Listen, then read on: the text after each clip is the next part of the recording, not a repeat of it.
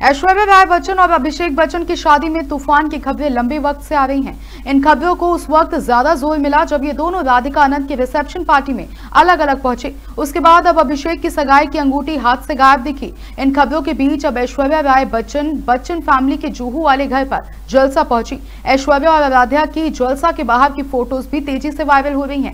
इन photos में Aishwarya green colour का top पहने दिखी। एक्ट्रेस ने न्यूड मेकअप किया हुआ है और चेहरे पर नूर नज़र आ रहा है, जिसके बाद से फैंस की टेंशन और भी बढ़ गई है।